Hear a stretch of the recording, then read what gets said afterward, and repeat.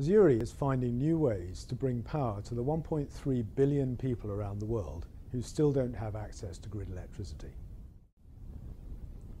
Azuri has combined mobile phone technology and solar technology to create pay-as-you-go energy, where the user buys a scratch card to pay for their solar power as they use it.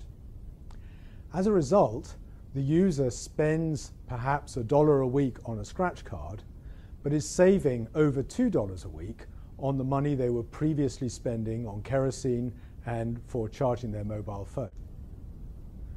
Azuri's Indigo pay-as-you-go solar technology has been deployed in a number of African countries, including Kenya, South Sudan, Zambia and Malawi.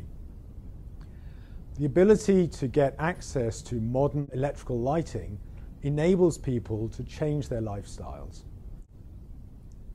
But Azuri's vision goes beyond just lighting. Users are able to step up what's known as the energy escalator, where progressively over time they're able to increase the quantity of electrical equipment they have in their house and therefore access to modern capabilities.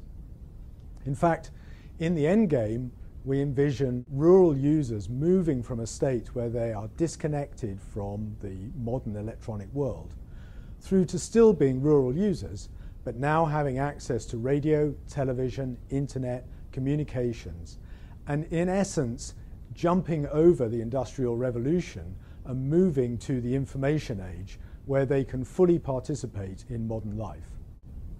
Azuri shares the vision of Ban Ki-moon and the United Nations to achieve sustainable energy for all. And the Indigo project is an example of one way of providing energy to people who don't have access to the grid in an affordable manner, which not only gives them access to the latest technology, but also saves them money on a day-to-day basis in order to help people earn their way out of poverty.